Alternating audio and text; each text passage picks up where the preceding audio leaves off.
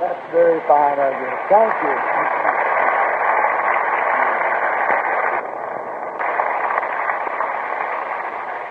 I say this, God bless you all, and thank you so much. I hope to be back at Phoenix again right away. Now, let us bow our heads for prayer. Father God, we are so happy tonight to know that this group of people love us, and we love them, and all together we love you. And it's because of your love that we love one another. And may this love be undying love and never cease. Bless them, Father. Give to them the best that there is in the kingdom. And someday when life is all finished for us, everyone, may we gather at your house. And there eat at your welcome table. Live together forever. Until then, keep us healthy, happy, serving you. Bless us tonight. Heal the sickness in our midst.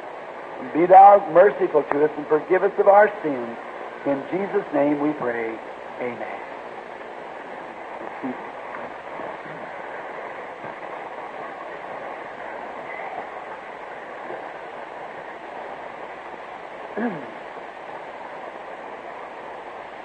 I just don't hardly know what to say tonight.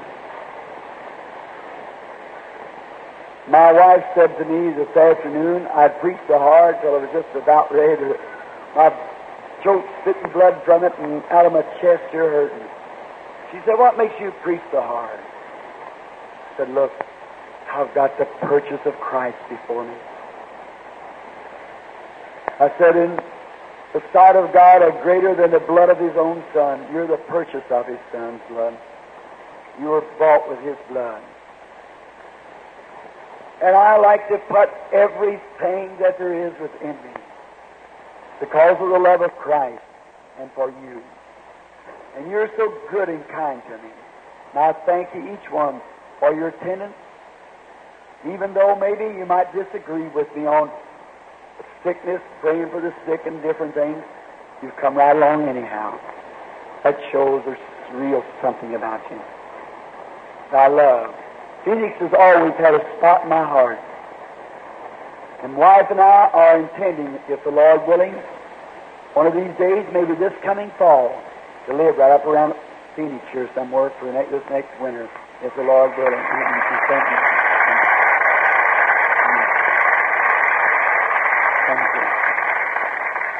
And to the pastors, we're not coming in to start a church. Not at all. We're coming in while I'm in here, I'll go from church to church everywhere, visit everybody, and pray for them.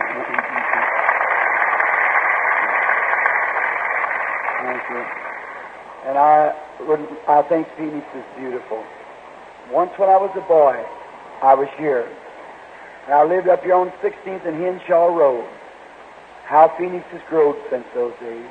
I remember I used to take my horse down and water Salt River right behind on 16th and Henshaw, close to Brother Ballard's tabernacle.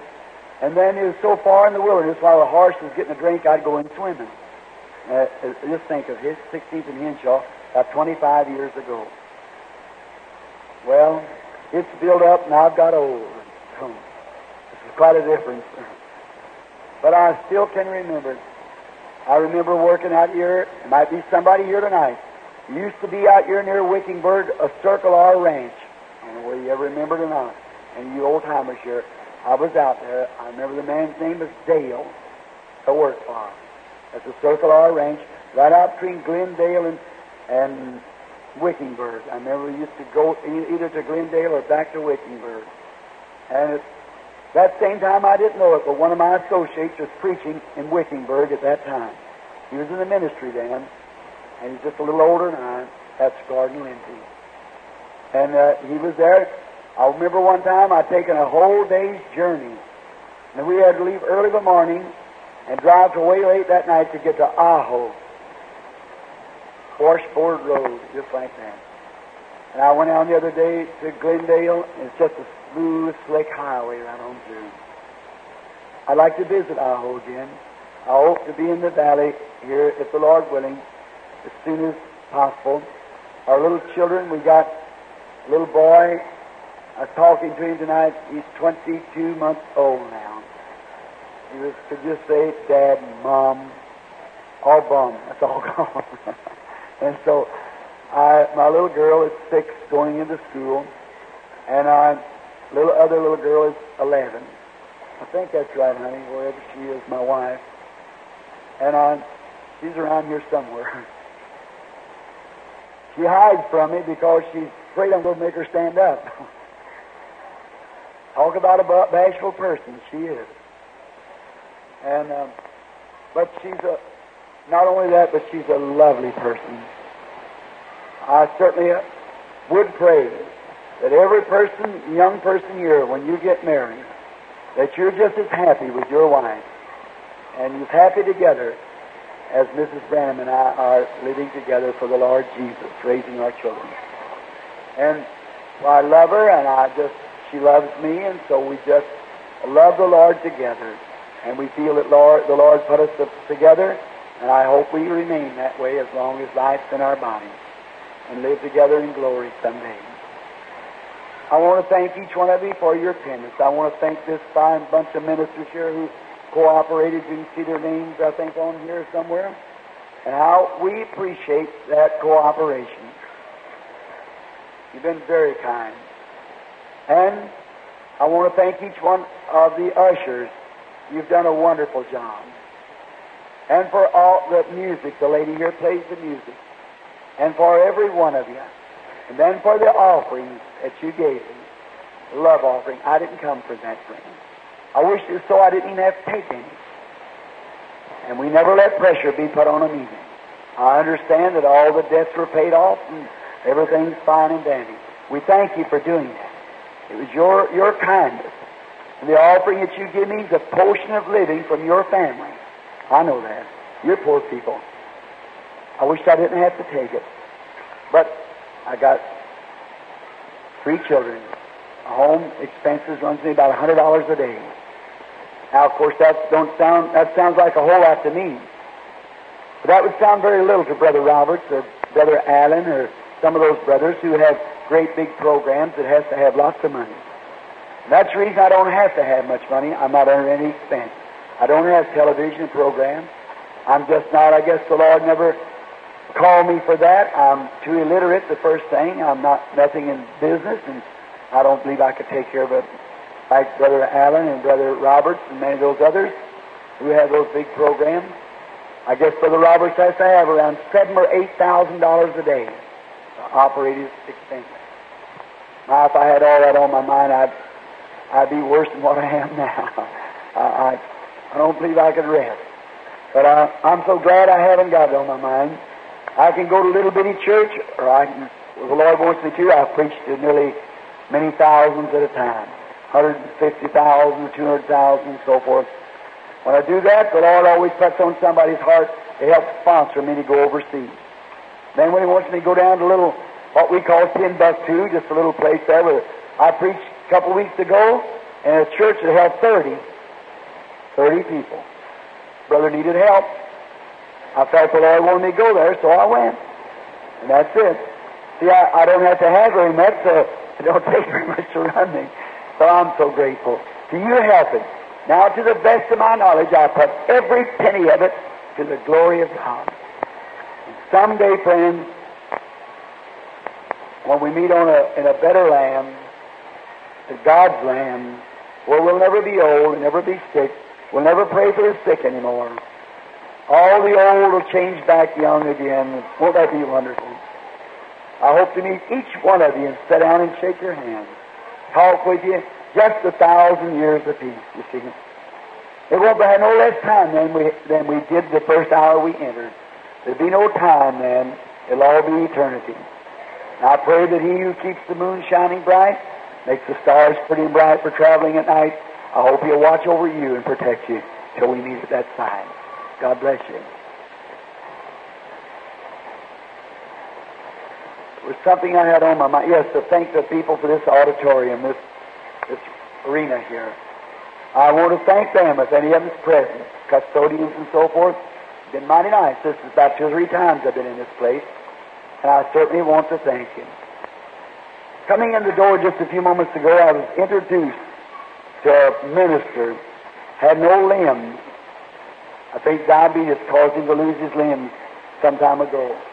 And he was in a little wheelchair. To think, shake that man's hand. No limbs. And yet, when I was knelt down or stooped over and had a little prayer for him, he raised up his hands and praised God. Oh, my. How wonderful that is. Lord bless that man. And now, remember me. How many will pray for me? I'll be praying for you. Thank you, friend. God bless you each one. I'll be praying for you. Now, I see some of my friends, the Indians, are sitting back here tonight. Are you all from the Apaches up there, the Apaches? I, I had a wonderful meeting up there the last time I was there. How many was up there to see that little Indian princess girl receive her sight? I believe her daddy was behind her. How the doctors and them went out there to examine him. We've always had a good time up there on the reservation, and I wanted to come this time. Just so hoarse, I know I couldn't speak outside. I see you understand English, don't you, lady? You tell the brethren up there for me. Will you do it for me now? Tell them that I didn't get to come because I was so hoarse and so tired. But if nothing else, I'll come down. I'll be down the valley pretty soon, the Lord willing, and I'll come up and have a good long meeting for you all up there. Pray that God will bless you. I know all the other people here. We all appreciate the Indian people, don't we, friends? Every one of us. It's their, it's their land that we're living in. Who is the American? The one that God put here himself and give the land. The Indian. That's exactly right. Such wonderful faith. I remember the first night there. Brother Moore, we could say many things about that, Brother Brown. So thank you very much. God be with you now.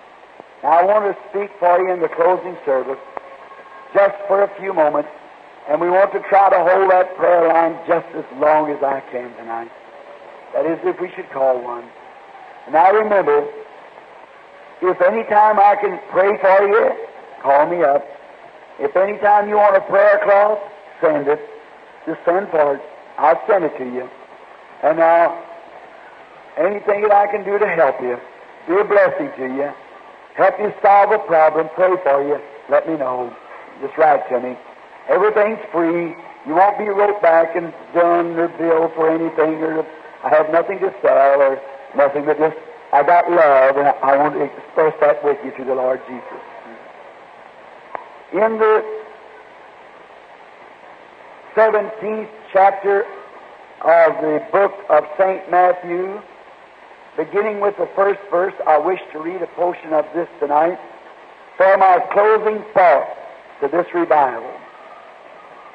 And while you're turning to it, if any other evangelist comes through, any of the brothers, Brother Roberts or uh, uh, Brother Hicks or Brother Allen, any of the rest of them that comes through the land, when you meet them, greet them for me.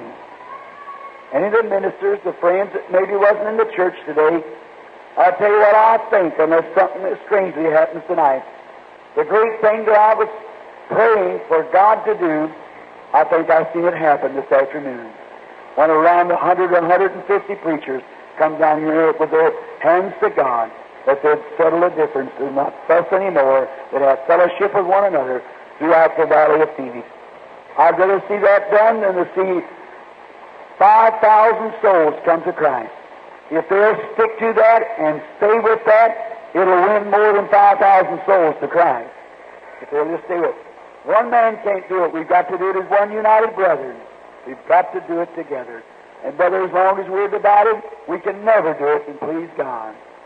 So I pray that that'll be the motive of each and every one. All differences will be cleared up, denominational differences, have love one for the other. After six days, Jesus taketh Peter, James, and John, his brothers, and bringeth them up into a high mountain apart, and was transfigured before them. And his face did shine as the sun, and his raiment was as white as the light. And behold, there appeared unto them Moses and Elias talking with him. Then answered Peter and said unto Jesus, Lord, it's good to be here. If thou wilt, let us make here three tabernacles one for thee, one for Moses, and one for Elias. And while he yet spake, behold, a bright cloud overshadowed them, and behold, a voice out of the cloud which said, This is my beloved Son, in whom I am well pleased. Hear ye him. And for our text tonight, I want to use that last three words. Hear ye him. Now, Jesus, when he was here on earth, he didn't just go about uh, haphazardly. He had one thing to do. That was the will of God who sent him. And everywhere he went, everything he'd done had a meaning, had a purpose, had a, a plan, a foreordained plan of God. Everything he did.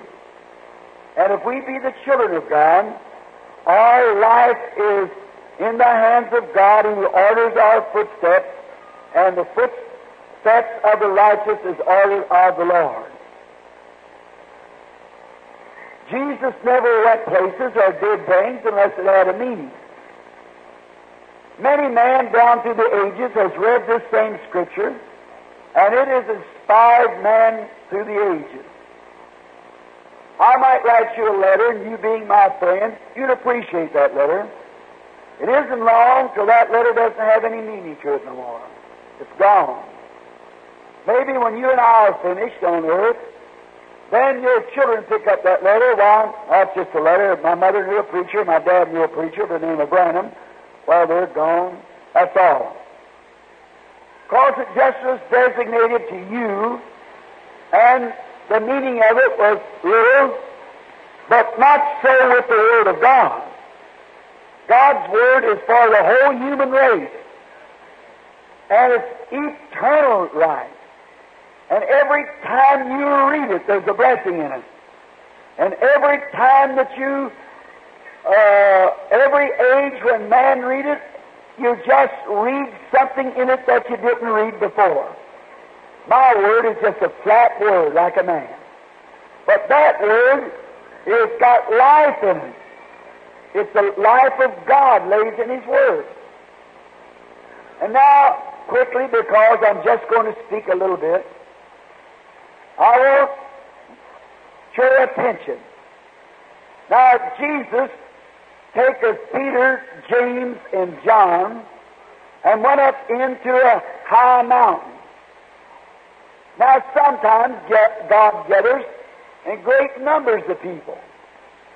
One time he gathered with 500 brethren.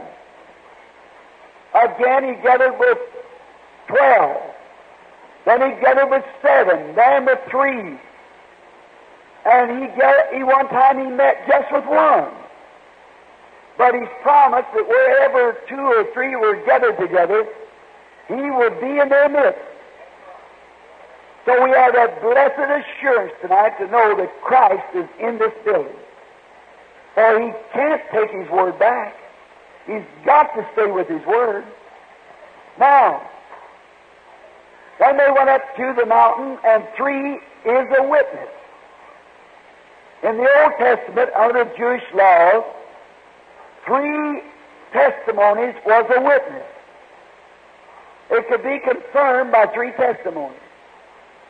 And now God taken Christ up to the mountain, not just for just to take him up there, but he went for a purpose. He was going to do something. And wherever Christ is around, he's there for a purpose. And if he's here tonight, he's here for a purpose. And when he was up there, watch, he'd taken Peter, James, and John. That's a witness. And they represent hope, faith, and charity. That's the three greatest witnesses we have in the Christian realms anyhow. Hope, faith, and charity. That's hope, faith, and love. Peter represented faith, James, hope, and John, charity. And then, did you notice while they were there, God fixing to do something, He also had three from heaven to come down Moses, Elias, and Jesus. There were three men of the earth to witness these events. There were three men from heaven to represent this, or to witness this event. Now, watch close because I haven't got much voice. Three here on earth, Peter, James, John of the earth, Moses, Elijah, and Jesus of the heaven, was to witness this event. Now, my brother theologians, I know the real meaning, the significance of this was the coming of the Lord, the order of the coming. Moses and Elijah to appear, and then they looked back and saw Jesus only. But tonight, let's approach it for a few minutes under another way. Because all the scriptures tie together. There's no loophole. That's the reason on some things that I might speak that might seem to seem strange to you. The angel of the Lord who speaks to me has never told me nothing but what was vindicated in this scripture. That's the reason I know he comes from God. See? Now, what I think God was doing here to the world also, if we'll go back to the Old Testament just a, a little bit, to pick up a little scripture to bring up here before we close it, or Holy Spirit nail it down for us. In the Old Testament, there's patterns and types and shadows. All the Old Testament was kind of a shadow of the New Testament. And all that was in both Testaments is a shadow of this day. Now, we find out that in the Old Testament, when a child was born in a family, we find out that when he was born, he was a son. When this boy was born, he was a son by birth. But before we go to that, I'd like to speak something to you which many people have asked me. Why is John 14 wrote the way it is? It speaks like this, in my Father's house is many mansions. Doesn't that seem strange? In my Father's house is many mansions. How could a mansion be in a little house? I must have been Moffatt, I think it was, or some of the translators. I read it somewhere. It was more ridiculous than that. It said, in my father's apartment house is many apartments. Like you were going up there to rent an apartment. But in the original, it's written like this In my father's kingdom is many palaces. But if you notice, the tradition of the Bible was brought down to England in the days of King James when the translators translated it. And what it was, the kingdom was a house, and the king was a father, and all of his delegates, his, his subjects in his domain, was his children. And so, making it so that people of England would understand, they translated it that way In my Father's house is many mansions. That meant in my Father's kingdom is many mansions. Now, in the Bible time, that's where it was too. A man owned a great portion of land. And in this land, he had many hired servants. And they were, they were scattered abroad.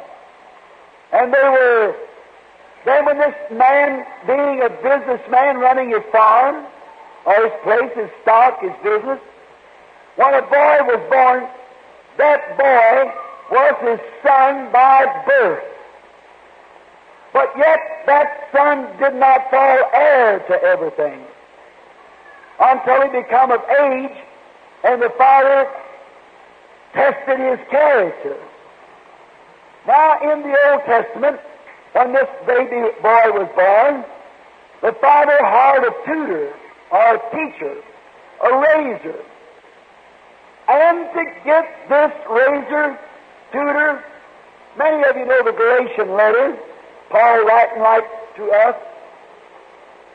In this, picking out this tutor, the father picked out the best man that he could find for the job because he was certainly interested in his child. And any father's that way. That's a real father. That's just the love of a parent to a child. And this father went around and found the very best tutor that could raise his son and could bring up his son, educate his son, and teach his son to follow in his father's footsteps. And this tutor was to bring messages to the father how the child was progressing. Now, all that was a pipe of the church today. For when God brought us into His kingdom by the baptism of the Holy Spirit and become a child of God, God sent us the best tutor that there was in all heaven, the Holy Spirit. He is to nurture and to bring up and to raise and to teach the church. Brother, we need Holy Spirit teaching and tutoring. Now, now if this child did good, or if he did evil, think of what that tutor would do when he went in the presence of the father of the child and have to bring a report of disobedience. How that tutor must have blushed in the presence of the father. Your child is not doing good. Oh, he's sassy.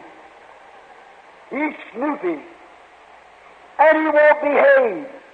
He won't try to listen. He won't try to learn. He just doesn't care. Oh, how that teacher must feel to stand and talk to a parent like that. I often wonder, brother, sister, I hope this is not meant to hurt, but it's meant to put something before you. How do you think the Holy Spirit must be to go before God to bring our character? as fussing, fighting, making differences, separating brotherhood. How do you think it must be when he has to go before the Father and say, Your child didn't go to church tonight? The bell's rung, but he stayed home to look at television. How it must be to say, Your daughters, that you gave the Holy Spirit. Oh, they're dressing so immorally so they're making men on the street lust for them. How that must hurt the Holy Spirit to bring such a message as that. How it must be when he goes and says, Father of the child of God to us, how that they have meetings and they won't do this and won't do that. How I speak to their heart to move them up and nurture them by the Word, and they won't listen to it. How the Holy Spirit must feel. What it is then when the minister comes to town to preach the gospel in the fullness of the power of the resurrection. And the people walk the street and walk by and make fun of the Word of God. And the Holy Spirit has to bring that before the Father and say, they even make fun. They won't listen. They are stiff necked people. They're starchy. They're know-it-alls. They won't listen. And if the Holy Spirit, here it is, if the Holy Spirit will teach anything, it'll be out of that Bible. For he said, when the Holy Ghost has come, he will bring these things that I've taught to you to your memory and will show you things to come. That's the kind of tutor we got. the Holy Spirit to reveal and to bring the disparate book of the Father and reveal to you what God's plan is. Then when we step across them boundaries and turn away from it with a stiff neck, what does the Holy Spirit think when He stands before the Father? To bring our character to him. Can you see, brother, sister, why we're not progressing like we ought to? It's our own character that's tearing us down. Now, we're children. Don't forget that. When you're born again, you're a child of God. We're children, but disobedient children. Oh, I wish I had the voice and could stand here in the time we could lay on that for hours of the disobedience of the church to God. And the Holy Spirit's bringing that word back and forth. Now, but what if that child has done good? Oh, how the Holy Spirit likes to bring their character. How the teacher would like to come to the father and say, Are you the father of this child? I am. All right, I want to tell you. That little fellow is one of the smartest little chaps I ever seen. Oh, even though he's youthful, he just, uh, well, he's just a chip off the old block. That's all. He loves you. He's just exactly like you. He's about your business. He stands just exactly firm on what you say. Well, he just, he's just like you. How that teacher likes to say that. What do you think that father thinks? Swells out his chest. That's my boy. Oh, God, I hope. I hope I can be obedient enough so the Father will be pleased with what I did. I hope that you're obedient enough to be, uh, you know, please God. Then as that goes on and progresses, time goes on, after a bit, then when this child becomes of age, then if he's been an obedient, if he isn't an obedient child, he'll never have nothing else but be a child. And brother, Pentecost is 50 years old in America this year. I wonder. 50 years old. When the child was disobedient, it was still a son. It was born the son. But the father could not put any confidence in it. So it never fell heir to any of the possession of the father had, but yet it was a son because he couldn't trust it. But if he could trust it, he took that child and set a certain day and put it out in a place in the street, put it on a shining robe, beautiful robe, had a big ceremony, and the father adopted that own child into his family. Or otherwise, for you teachers, it's the placing of the son that I'm talking of. That son was placed by ceremony into position, and after that ceremony was said, that boy's name on the check was just as good as the father's. He was positionally placed to a position. Now, I believe that the Pentecostal church has all nine spiritual gifts operating in it, but it's so mixed up.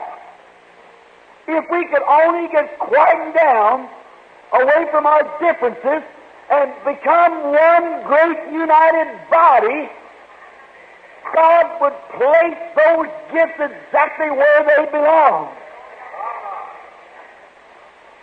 Then you'd see miracles done signs and wonders done. These gifts, like speaking with tongues, how we misuse that. Just fly loose anytime. Did you realize that that's wrong? Certainly it is.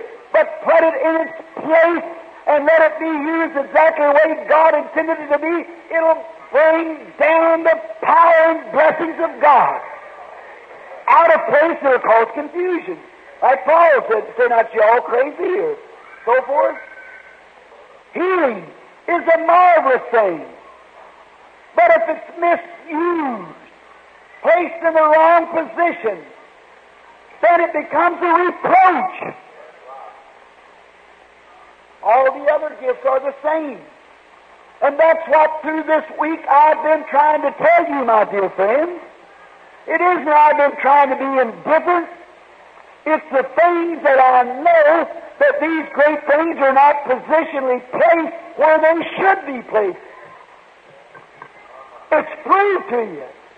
If everything was operating perfect in harmony with God, this great Pentecostal group would be one great big Pentecostal church of the living God. Right? But it's the way we misuse. The gifts are here. But as I said the other morning, we hold so much on speaking in tongues and interpretation. Now watch, that's the last and the least of the gifts. The first gift was wisdom. The second gift was knowledge. And what good is it going to do to have knowledge if you haven't got wisdom to know how to take care of your knowledge? What good does it do to speak with tongues if you haven't got wisdom to know when and how to place it? Same thing with healing, with any of the other gifts. And that's the reason we won't listen. It's just, I ain't laying it on to the laity so much, I'm laying it on to the preachers. It's just so confused with their organizations. If you've got an organization, that's all right. I wish we had more organizations, and every church was its own organization.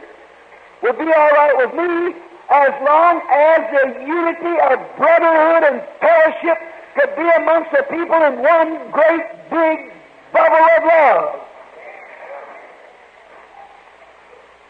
See where we miss it? Now, if we are obedient children, if we in the Methodist, in the Baptist, in the Oneness, in the United, in the Assembly, Church of God, Nazarene, Pilgrim Holiness, if we were obedient children, when our founders raised up, they got a revelation on something to build an organization around it. That's all right. It's okay. If you would build your organization and end it with a comma, we believe this plus as much as what God can show us. But in trouble, we build an organization and end it with a period, this is it, and that's all of it. Then God can't work. See? And then in doing that, the devil comes around and gives you false things. What we ought to do is big, one big body of love all together. Every church in the difference. Well, I've got nine brothers. There isn't one looks like me or it's not a preacher in a bunch. I've got a brother next to me, great, big, tall, blonde-headed, blue-eyed, fair-skinned. Why, he don't like the things I do. Our appetites are not the same. Our desires are not the same. But his daddy is my daddy. So if a man disagrees with you, yet a Christian brother, what difference does that make? If we're real children, we'll be loving one another, taking up for one another, helping one another, standing together. If one of the brothers get out of line, then the whole group ought to go and say, now wait a minute, brother. See? Come here. See? That's what we ought to do. Now, then then when that son was adopted or placed positionally into the, the, the kingdom, he was a co-heir. He was just as much authority as what the, his father had. He could bind, turn loose, do whatever he wished to. Because he had already been recognized and adopted and positionally placed under the authority. Now, God never done anything, never asked the man to do anything that he didn't do himself. He pronounced death upon a man when he sinned. God come down and took the death of the man upon himself and died the death of the sinner man that he might redeem him back. That's the only way he could do it. God in spirit, he couldn't suffer. God was made flesh in order to suffer, to take the penalty of sin upon himself. Now, when God was going to adopt His own Son, He taken three witnesses of the earth, Peter, James, and John. He brought the three witnesses of heaven, and Jesus was transfigured before them. And there He stood out. Watch this ceremony. And He was overshadowed, and His raiment shined like the sun. He's placing His Son like in the Old Testament. And Peter got all excited. He's just like me and the rest of us. He said, Lord, you know it's good to be here. Here stands Moses, and here stands Elijah, and here's Jesus. He said, let's just build three tabernacles up here. Let's make three denominations. Let's have all those that wants to keep the Sabbath and don't eat meat and keep the laws. Let's just build a tabernacle for Moses, let him lead his group. And said now, Moses represented the law. And by the law, no is saved. You can't be saved by the law. The law is only a schoolmaster. It only pointed sin. The law could point out sin, but it didn't have the remedy for sin. Moses represented the law.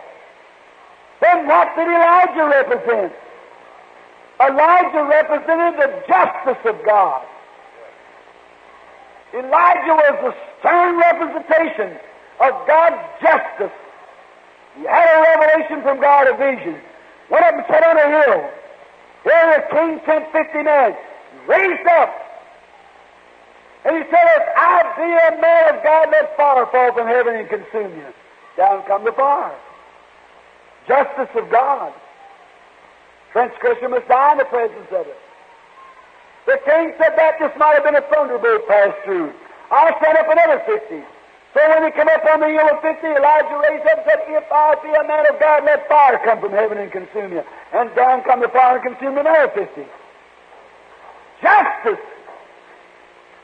Oh, we don't want justice. Would you dare to say that you want justice? Would you dare to try to go to heaven on your own keeping of laws and legalistic things you'd do? If that was all that Christ died in vain. The law is not a remedy. A law is the magnifying glass to show you sin. It's the one he can put you in prison. It's the law. But it has no redemption in it. Look where we're standing when, when Peter spoke that. Let one keep the law and let one do this and one that. Oh, I'm so glad that there's somebody else to look to when we're standing in the realm of law and legal, uh, by it we're all condemned and all flesh is condemned by the law. And we were all born in sin, shaped in iniquity, come to the world speaking lies. Without, a, without even a chance we don't have it. How could we stand the justice of God? But oh, my dear precious friend, Turn your head and look this way. God said, sending there said, This is my beloved Son. Yeah, ye him. There's the remedy. Dear dying Lamb, thou precious blood shall never lose its power till all the ransomed church of God be sin uh, to say to sin no more. Then in a nobler, sweeter song, I'll sing that power to save when this poor lisping, stammering poem lies silent in the grave. Jesus represented God's love. God so loved the world that he gave his only begotten Son. Moses is justice, or his uh, law is magnifying glass, his body of officers that throw you in jail because you sinned. Elijah represented the one who called fire on you while you're in jail. That's God's justice. Moses threw you in jail, and Elijah called the fire from heaven and burnt you up. But Jesus was the Redeemer. God's law for you. Oh, Christians, that's the gospel. That's the power of God. Hear ye him. Moses cannot save you. He can. Moses cannot heal you. He can. Elijah none of of them can do anything for you. He can. Moses can't raise you up from the grave, neither can Elijah. But Jesus can. God said, Hear ye him. He's the one. What we need today, brother and sister, is more real, genuine Christian love displayed among believers. The world's looking for something today. When your little wife told you she'd be your sweetheart and wife, she was looking for somebody to love her. And when you promised your husband, he was looking for somebody when he come in, tired and weary from working all day, some little wife would put her arms around him and kind of brush his hair back and tell him how much she loved him. That's what causes separation in families, is the neglect of love. That's what causes the separation in churches, neglect of love. We got to have love. Some time ago, as you know, I'm a hunter. I went up to the North Woods. I usually hunt up there. And one year, I got acquainted with a man up there, which was a nice man, but a cruel-hearted fellow. He was a good hunter, a good tracker, but he was the brutalest guy I ever seen amongst wild animals. He would just shoot little old fawns just to see them fall. And that used to get all over me, where I was a game warden. I'm still a conservationist. I don't believe in killing the little things. If the law says you can have one, that's all right. Abraham eat a calf. God eats a calf with him. That's all right. But if the law just requires one, take one. But Bert would just take about eight or ten just to be mean. Well, I would go on to him. I said, Bert, what makes you do that? Oh, he said, Billy, you're just chicken hearted like the rest of the preachers. I said, Bert, it isn't chicken hearted. It's a principle that's involved. Oh, he said, that's the way with you preachers. And one year when I went there, he made himself a little old whistle. And it sounded just exactly like a little baby fawn crying for its mama. And he blowed it for me before he left the camp. And I said, Bert, you're not going to use that. Oh, he said, go on, get next yourself, preacher. So we had hunted several hours and hadn't found nothing. We come to a little clearing spot, and he stooped down there by the snow, took out this little whistle to blow it. I stood right behind him looking at him. And he got out and got this little whistle and he cried with it. Made it sound like a little baby fawn squealing. And when he did, just across the way, a great big mother doe, that's the mother deer, raised up. Oh, I noticed Bert duck his head down. I've seen her with those great big brown eyes. Oh, she was a beautiful animal. Those big ears, they're so pretty sticking out like that, she's looking around. What was it? She was a mother. That's what she was. A baby was crying. She was a mother by her nature, she was a mother. The baby was crying. Where is it? She walked out, and when she come out of the bushes into the clear, I could see the big veins wasn't over 30 or 40 yards, and that Bert was a dead shot. I seen him take the bolt on that rifle and pull it up the shell into the magazine, up into the barrel. Now I noticed him as he leveled those strong arms down that crosshair across the heart of that doe. Here she come walking out, looking. She was a mother. She's watching every footstep.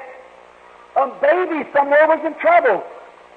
I thought, oh, Bert, surely you're not going to shoot that deer. And I noticed him leveling that hand. I turned my head, I couldn't look at it.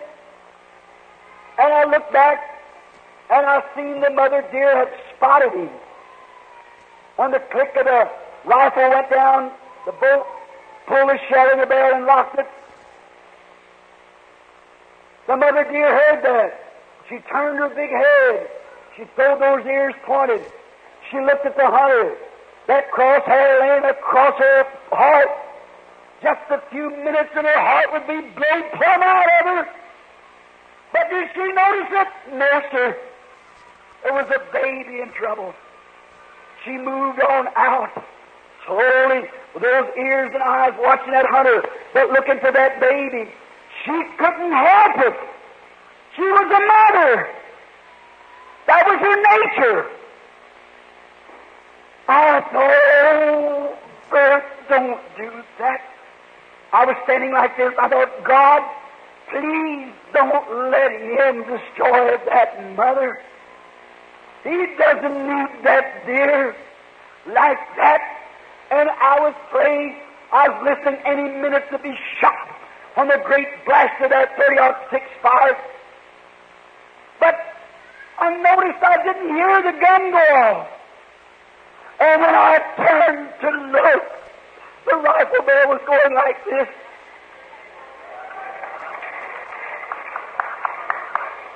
He dropped the rifle on the ground and turned around, grabbed me by the hand, and said, Billy, I've had enough of it. I just can't do it. He said, I want to know about that Jesus that you know so much of. There, by the grace of God, that cruel-hearted hunter, after seeing that display of real, genuine love, it tore the heart out of the hunter. The love that the mother deer was displaying, she couldn't help that. She was a mother. Let me tell you, brothers and sisters, when the people who belong to the church of the living God will display the real Christian love, it'll conquer more sinners than all the other things you can put together. That's what you need. No matter what takes place, if you don't love the Lord Jesus, oh God, be merciful. Not long ago, a evangelist passed through the country of the Middle East 50 years ago called Daniel Curry. He had a dream one night that he died and went up to heaven.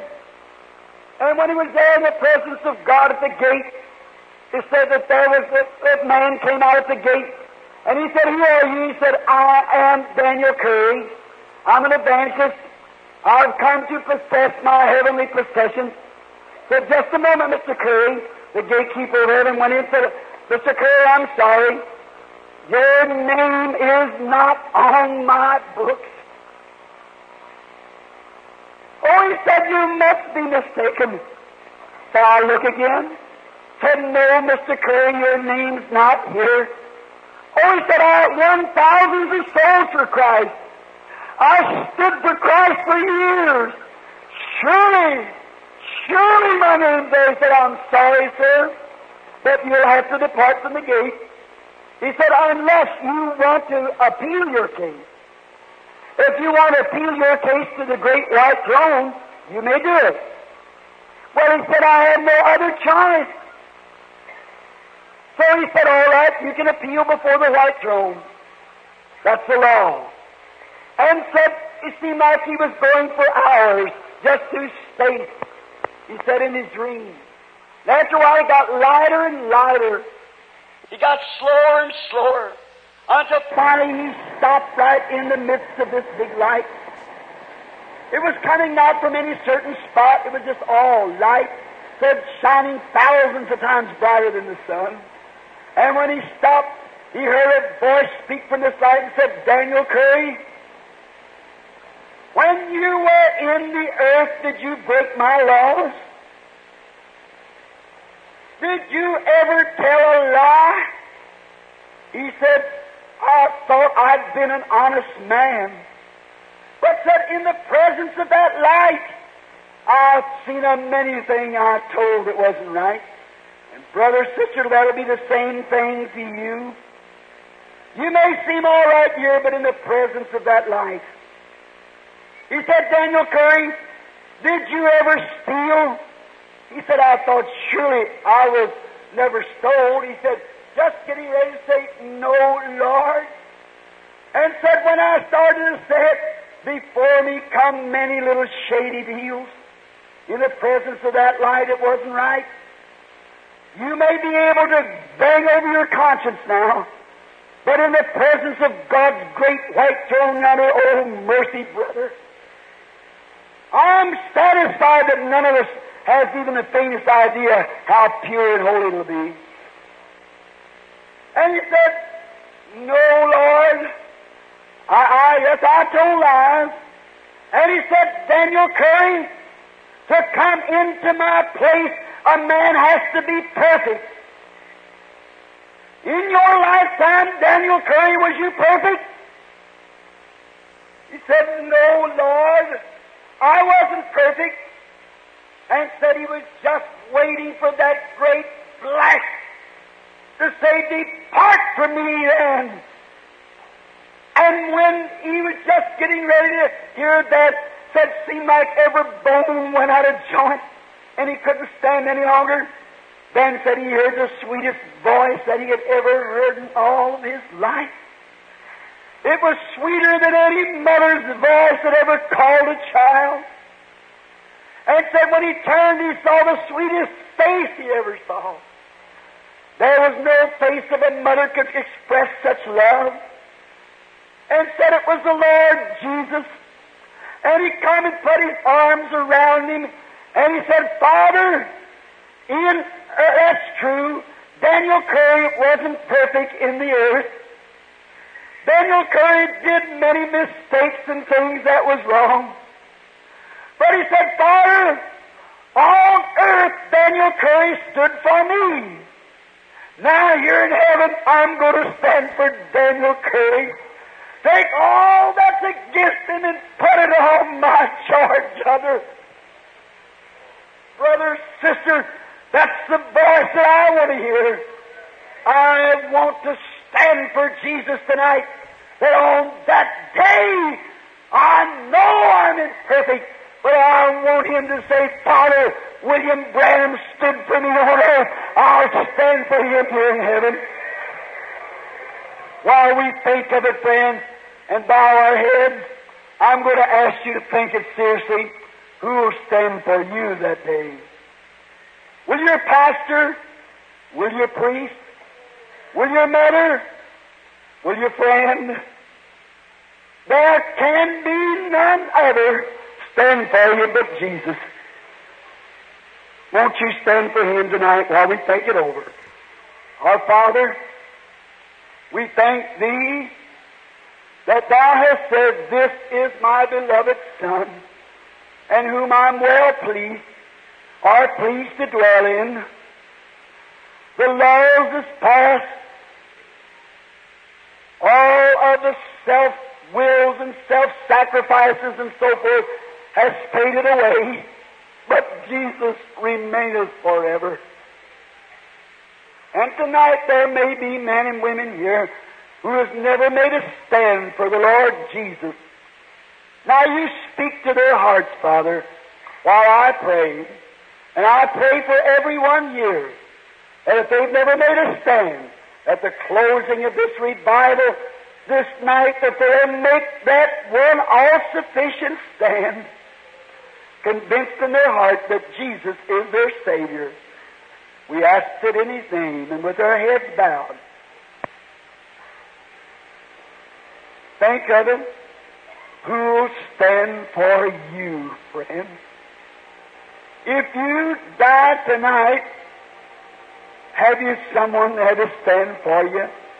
And frankly, there's no one that can stand for you but Jesus. He is the only mediator between God and man.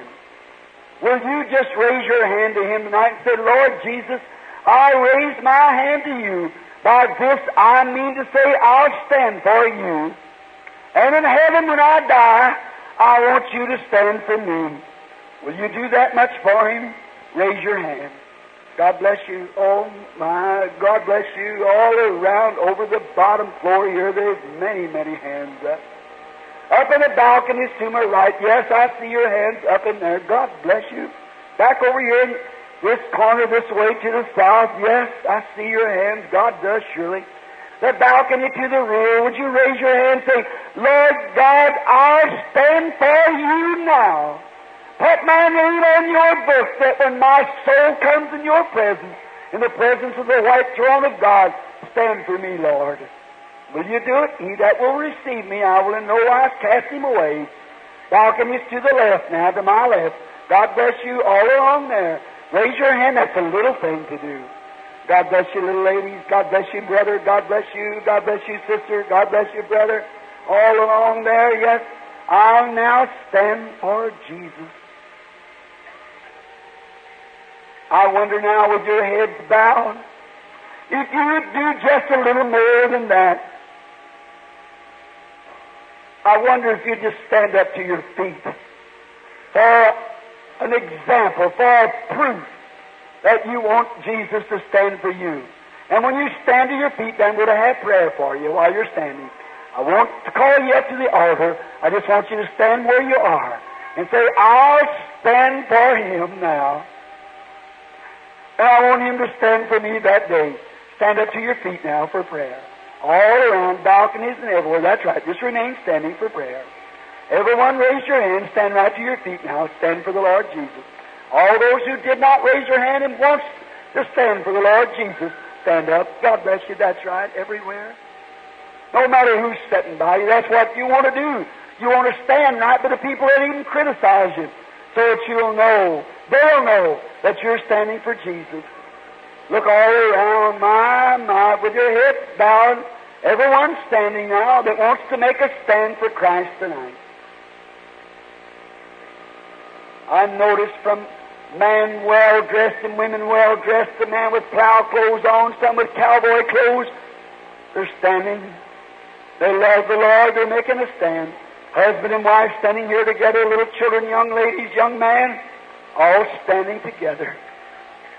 Now our blessed Heavenly Father, by the fruits of the Spirit that went forth with the gentle love of the dove and spoke to these hearts, they're convinced that they could not stand in their own self-made will, but they have stood tonight for you.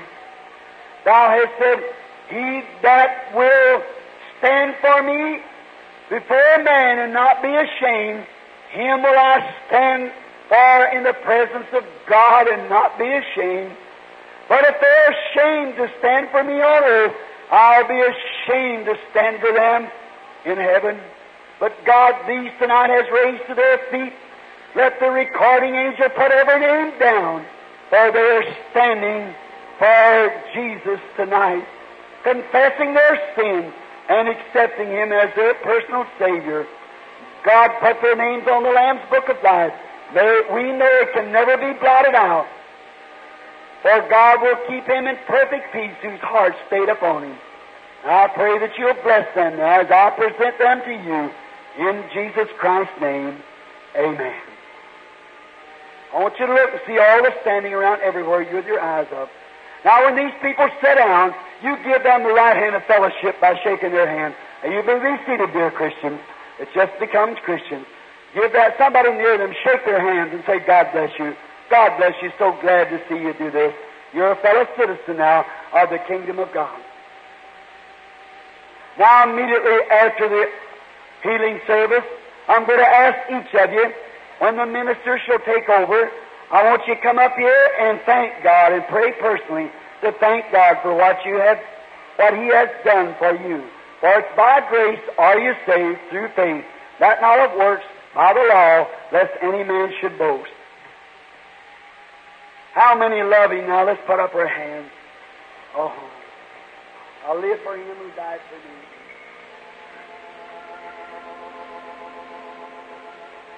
I live for Him for me. How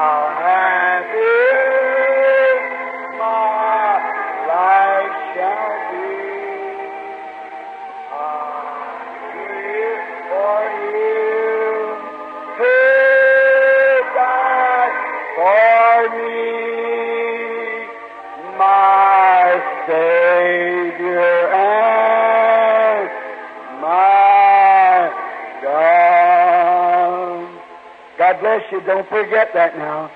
Live for Him who died for me. Now walk out with a real experience, not with just anything different, but a real born again experience that you can display the love of Christ before a world that's sinful and indifferent, dying for a little bit of love. May the Lord bless you, is my prayer.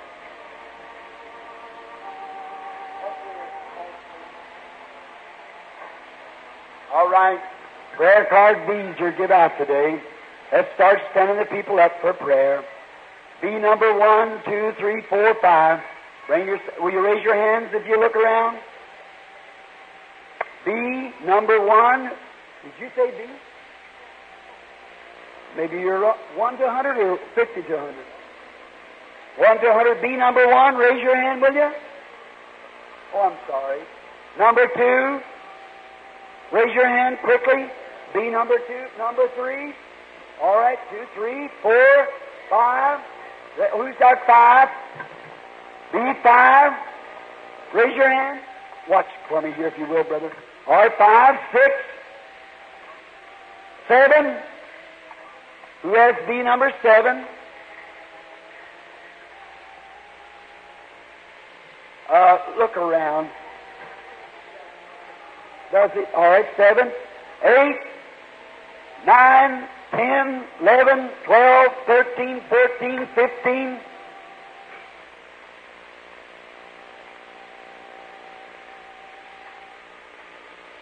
None of them's your number, brother. None of them is your number.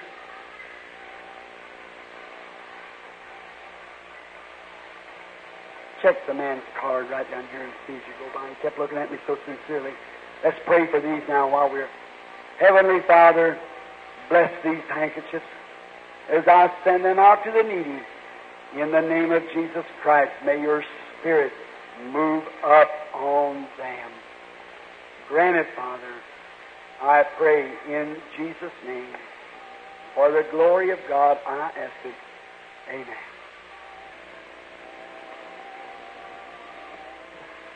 Is that little jacket to be prayed over there, Brother Brown?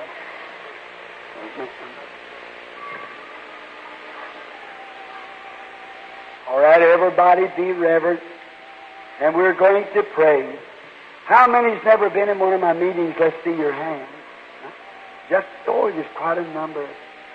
Well, Christian friends, it has been my motive always to try to get people to believe without even touching them. I want them to believe in the resurrection of the Lord Jesus. And I want them to accept Christ. Now, we believe that Christ died and rose again. You believe that? I believe the Bible teaches He's the same yesterday, today, and forever. You believe that? Then if He is the same, He's got to be everything the same except the corporal body. Now that body, when it comes, time shall be no more. How many knows that? Yeah, when Jesus comes in His literal body, but He come now in the form of the Holy Ghost. And He lives in His church. It, we said we are the branches and He's the vine. He just stands in us in spirit manner and feeds the gifts of the church. How many knows that? And he said, The things that I do shall you also. Did he say it? What did he do? He never claimed to be a healer. How many know that Jesus never claimed to be a healer? Bible? Jesus said, It's not me that doeth the works, it's my Father that dwelleth in me. He doeth the works. He said, I can do nothing except my Father shows me first. How many knows that? Right. Passed right through a pool where there's thousands of people lame, blind, halt, and withered. Never touched a one of them. What if he'd done that in Phoenix tonight? He'd be criticized. He was then. He found a man laying on a little pallet. And he said, Will thou be made whole? He said, I have no one put me in the water. He could walk. He wasn't crippled nor blind. He had some kind of a trouble, maybe a prostate trouble or tuberculosis. He was retarded. He had it 38 years. Wasn't going to kill him. So he said, I have no one to put me in the water. When I come in, somebody else steps down ahead of me. He said, Take up your bed and go to your house. Watch, he's looking around there till he found that man. Now the Jews questioned him.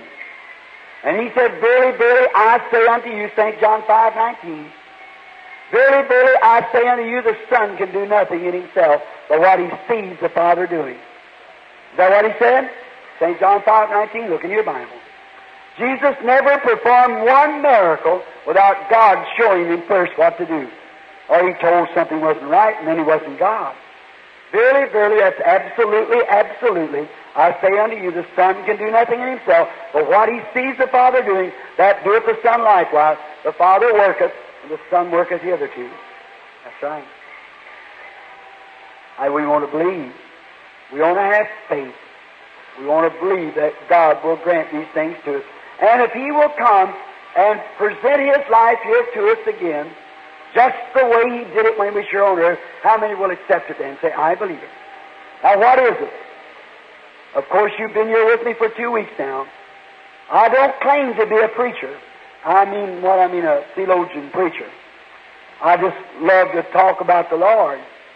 But my gift is seeing visions. There's nothing nobody laid hands on me for it. I don't believe you do that. Gifts and callings are without repentance.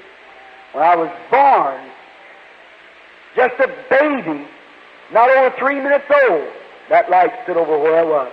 My people are Catholic, you know that. I come from a Catholic family, Irish. Both mother and father. My mother was, the blood was broke there. My mother is almost a half Cherokee Indian. Right. If you'd see my mother walk across this platform, you wouldn't know her from an Indian. That's exactly right. She shows that anyone who knows her knows that's true. But her, her mother was an Indian, her father was Irish. And they come from a Catholic family.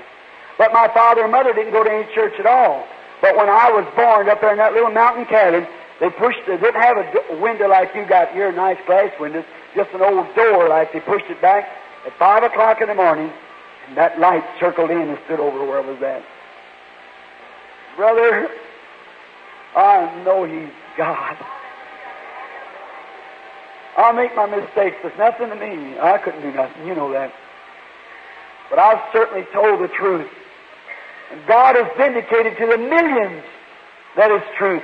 And now the scientific record shows it's truth because they took pictures of it in the United States and foreign countries and took it before the examiners and everything. And they say a supernatural light become natural and struck the lens.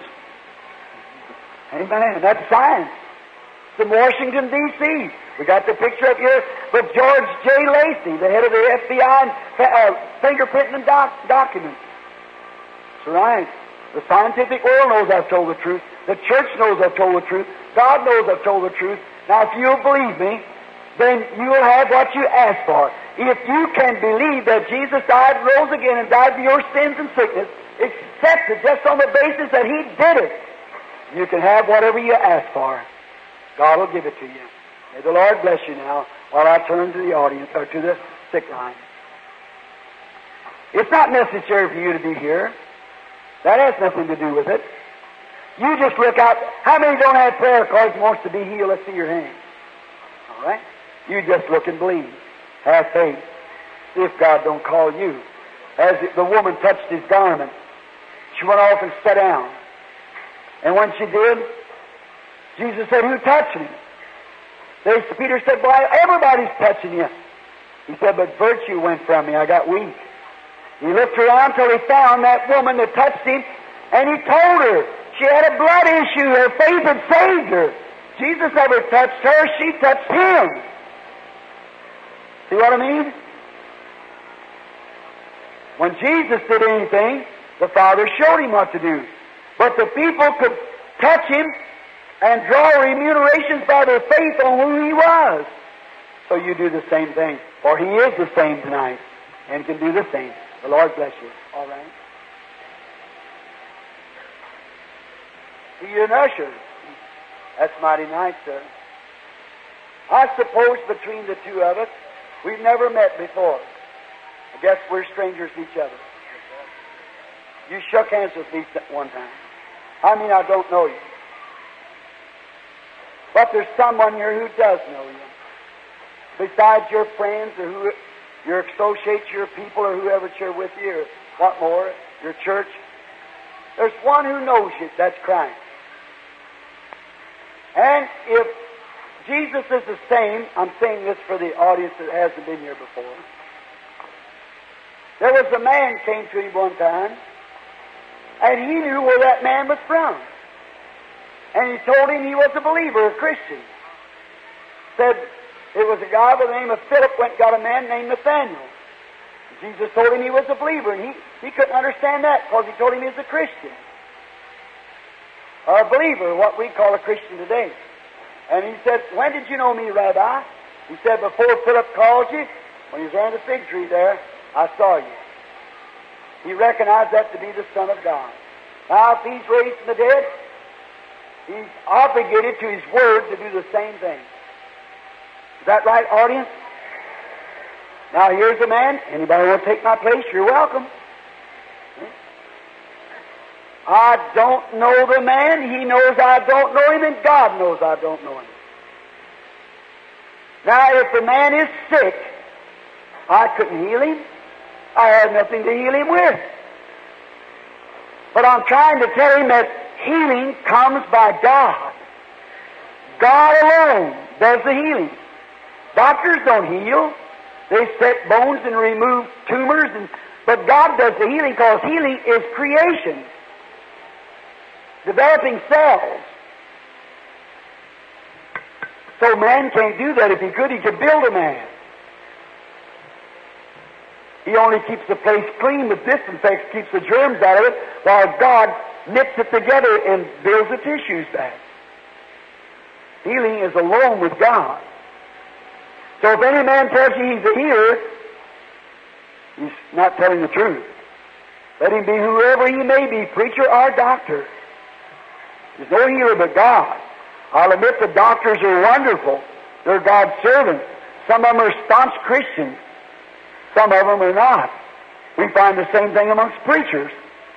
I find more believing doctors than I do believing preachers on divine healing. Doctors, many times, what doctors come to my home, sit there in a room, ask prayer. Great doctors of the nation. Certainly, they believe. Now, this man and I were probably maybe born many miles apart. I suppose I'm a little older than he is, but we here we are meeting for our first time face to face this way. And him knowing and witnesses himself, I don't have one idea what he's standing there for. He's just a man. Now, if God will reveal to me what the man's here for, or something he's done, or something another that he knows that I know nothing about, will you believe? You believe that God gives it to you? Now, see, God don't have any voice on earth but ours. How many knows that? No hands but ours. We are the branches. He's the vine, and He just energizes us. And we bear the fruit, the vine, or the branch. Now that we are strangers and do not know each other, but if God will let me know what you're praying for, now you just speak to God about that. Then you're going to believe that God will give you what you ask for.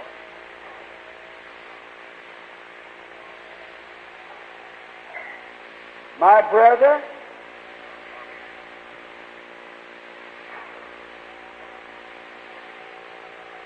I see the man going way, way from me. He's really not from Phoenix. He's in a country different from this country. I believe it looks to me like Montana. Up in the range country. And he's seeking the baptism of the Holy Ghost, and that's what he wants me to lay hands on him for.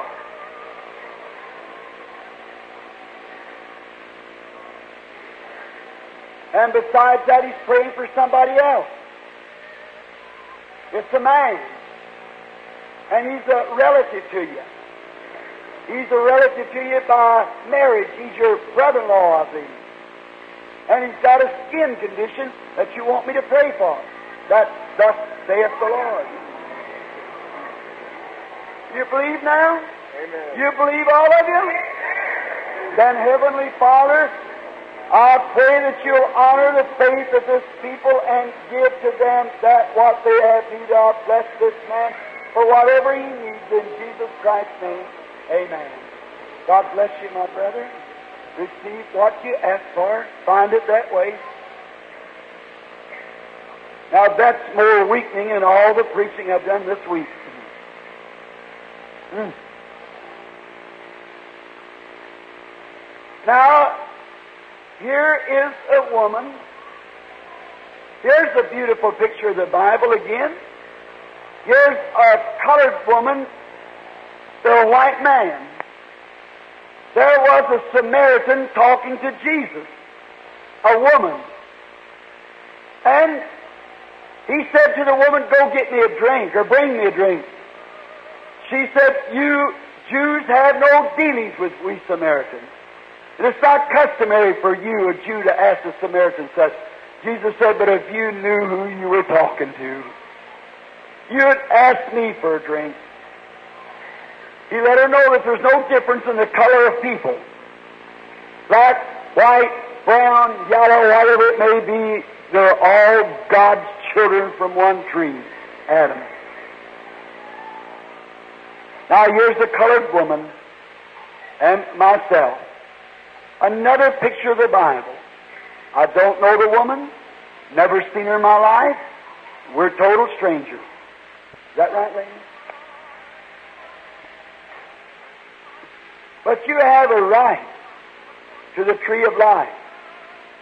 And you know, one time when Jesus was going up the mountain, dragging that old rugged cross, dragging out this bloody footprint, some of your people picked it up and helped him pack it on. You know that. He knows it too. Now, if the Lord Jesus, talking to the Samaritan woman, told her where her trouble was, and she said as soon as he told her, as she told him, that she didn't understand how this was, but she said, Sir, I perceive that you're a prophet. She said, Now we know when Messiah cometh, he'll do these things, do all things. But she couldn't understand who he was, so she thought he was a prophet. So that was the sign of the Messiah. To the Jew, that was the sign of the Messiah to the Samaritan. Is that right? Well, would it be the same Jesus is raised from the dead? Wouldn't that, if he's the same yesterday, today, forever, wouldn't that be the sign of the Messiah to us? If he's the same? Now, may he grant it to the woman. I don't say he will, but may he do it.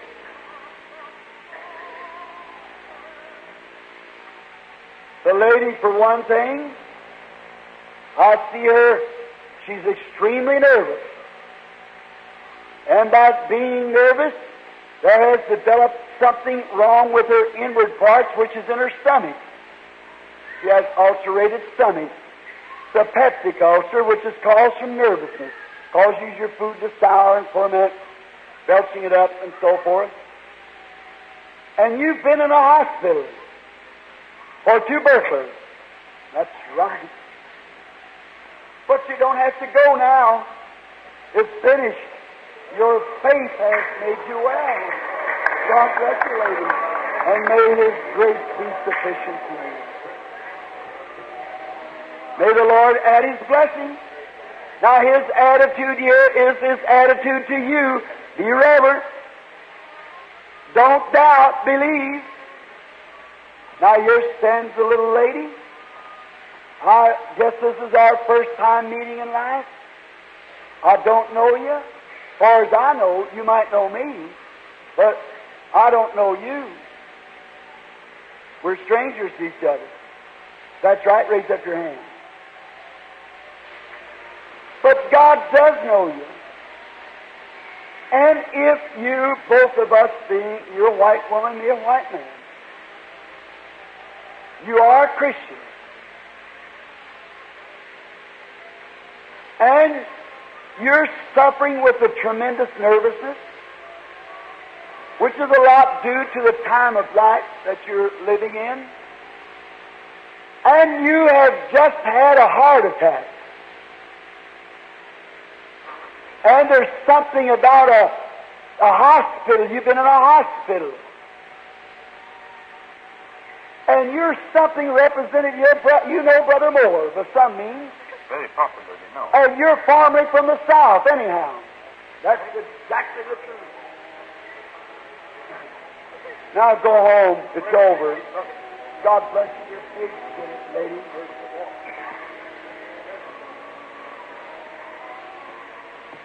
Supposing us to be strangers to each other, sister.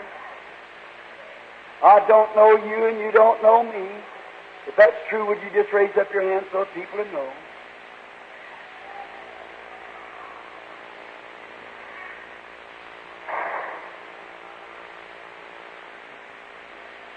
You believe God would heal you that back trouble, lady? Right there, the Spanish lady? Got spinal trouble. You did have it, you don't have it now. Your faith has made you whole. I want to ask you, see her raised up? She's well now. What happened? Who did she touch?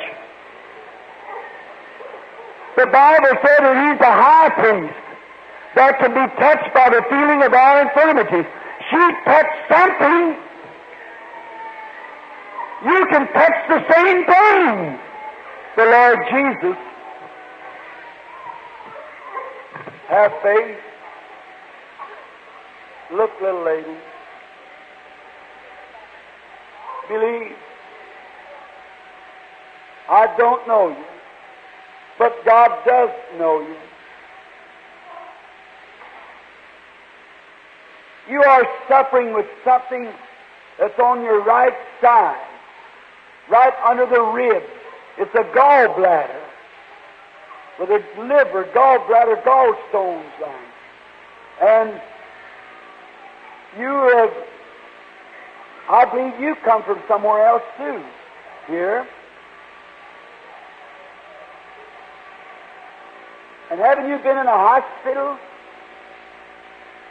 But they didn't operate. And that was up in California, San Francisco. That's right. And now that have got your spirit, you flew down here. You flew in a plane down here to be prayed for. You're supposed to go back in about a month. But I don't think you'll have to do it. I believe your faith has settled it, lady, and you'll be well. Oh, eternal God, bless this dear little woman and make her well through Jesus Christ. Amen.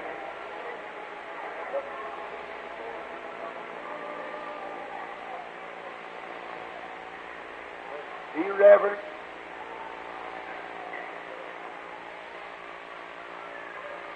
I don't know you, of course, lady, but God does know you. But if God will let me know what you're here praying for, will you believe Him?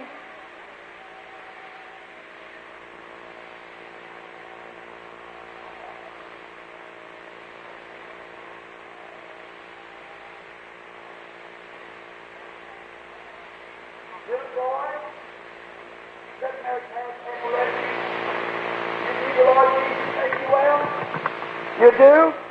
If you do it, little feller, you can go home and be made well. In Christ's name.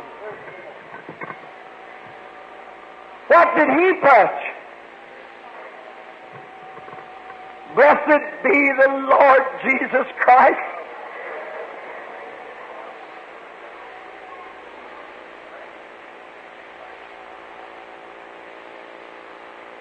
You suffer nervously. And then in that it's caused a stomach condition in there which causes a burning in your stomach. It's acid.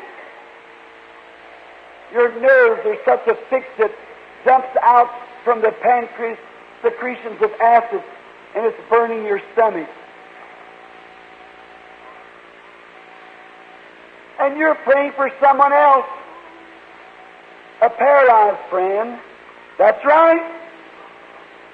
To heal, I can't. But a gift of God will make manifest every time. Come here. Oh, blessed Jesus, I bless this little woman in the name of Christ that she will receive that which she's asked for. Amen.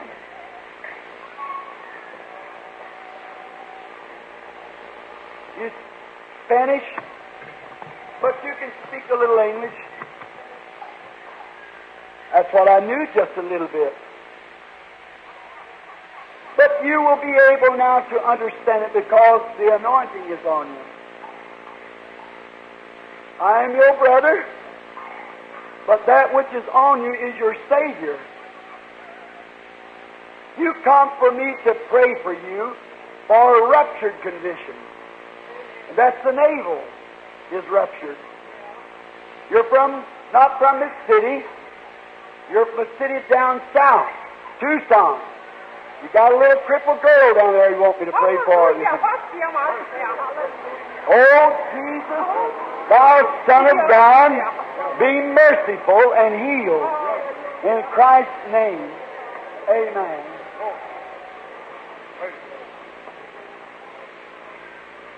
Cancers, skin cancer.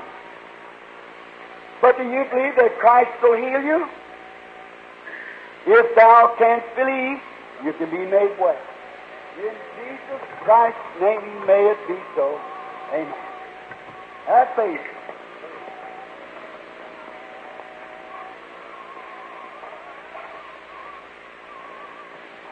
You believe God heal you that sinus trouble? You do? All right, then you can have what you ask for. Just raise up your hand to God, sitting on the end of the seat. All right, you can go home well. And this lady had asthmatic trouble. That's right. Go home well too. The Lord Jesus bless. It could cripple you, this arthritis, and put you in a bed or in a wheelchair. But if you'll believe with all your heart, God can remove that acid from the blood and make you well. You believe it?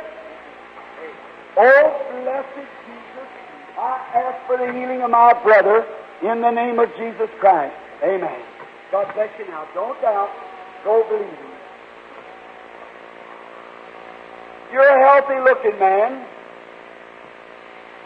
but the heart is something that doesn't show whether it's healthy or not. But God can heal that. Do you believe it? With all your heart? Then come here.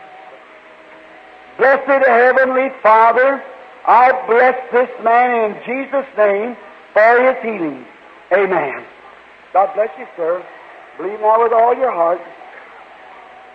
Dost thou believe the Son of God could heal you from the lady's trouble and the arthritis too and make you well? Do you believe that? Then the Bible said, These signs shall follow them that believe. You believe I believe him? Then these signs will follow them. They lay hands on the sick, they'll recover. Then I ask for her healing in Jesus Christ's name. Amen. Have faith. Wouldn't you like to eat again like you used to? That old stomach be well. You believe me to be God's prophet? Well, then go eat. In the name of the Lord Jesus. You nervous? The nervous trouble is what you think you're always crossing bridges before you get to it. In that is created an acid condition which made you have arthritis. That's right. You believe me to be God's prophet? Then go and receive your healing in the name of the Lord Jesus. Like to eat again, like you used to? Go get you a nice hamburger and eat in the name of the Lord. Right.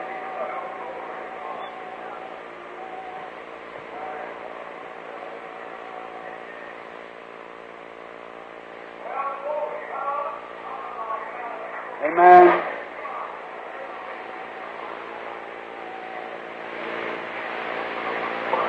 If thou canst believe, all things are possible.